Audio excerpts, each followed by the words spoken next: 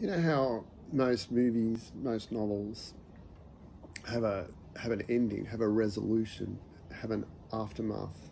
There's a period of of working out like what it all meant, what happened, what it means, a sense of peace that you finally reached, something that, that you've come through and you and you're you're ready to maybe start a new chapter maybe or even a new book.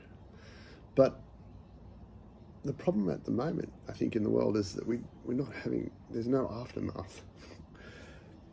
We're in a state of high, high state of anxiety, a high state of alertness, a high state of distraction. And we're all finding it really tough to figure out what things mean in the in the world, let alone in our own lives. And because the world is so distracted and and people have figured out how to get into our minds, you know.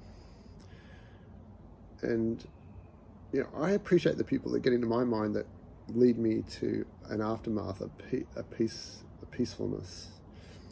Um, so you know, this is what I, I kind of like the yo- the yoga people on YouTube, the, the, philosophers, the people with the quiet voices. I, I really appreciate them because it, it does give a sense of aftermath where you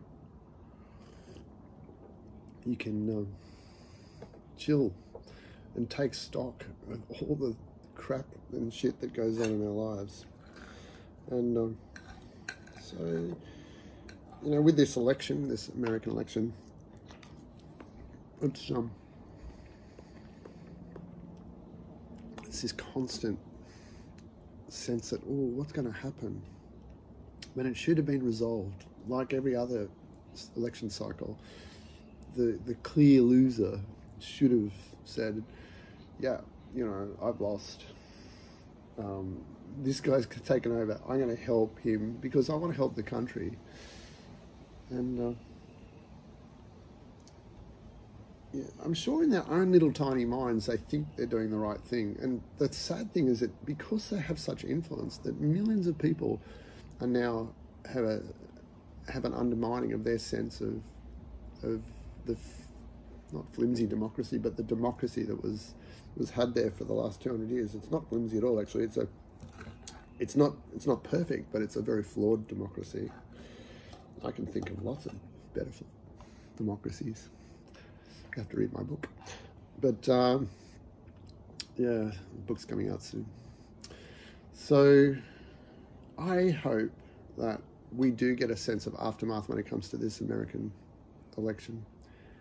I hope in our lives, in our personal lives, we can have exciting times that then become resolved and we have contentment.